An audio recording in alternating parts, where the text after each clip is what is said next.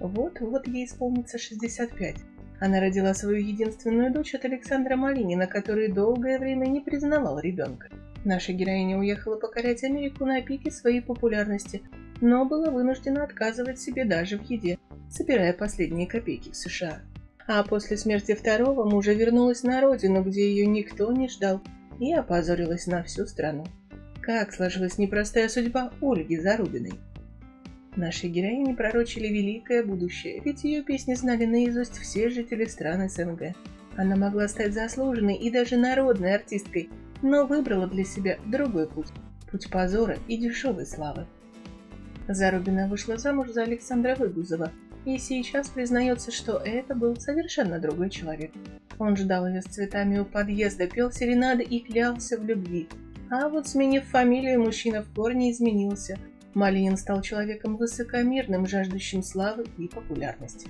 Ольга родила дочь Киру, и когда девочке было только 9 месяцев, рассталась с гулящим муженьком.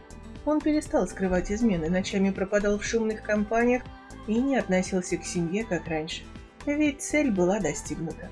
Зарубина откровенно рассказала, что для Малинина брак с ней был фиктивным, ради московской прописки и звездного имени уже состоявшейся и известной певицы. Вскоре Ольга второй раз вышла замуж за своего администратора и поехала с ним строить новую жизнь в США. Но там все оказалось не таким уж сказочным и счастливым. Первое время супругам даже приходилось отказывать себе в еде. А когда Владимира Евдокимова забрал рак, Ольга решила вернуться на родину, ведь в Америке ее уже ничего не держало. Только вот единственная дочь осталась жить и работать в США. Однако возвращение было не триумфальным, а позорным. Участие в грязных шоу закрепило за Ольгой Зарубиной славу интригантки и женщины, ищущей популярности не усердием и трудолюбием, а ценой дешевых скандалов.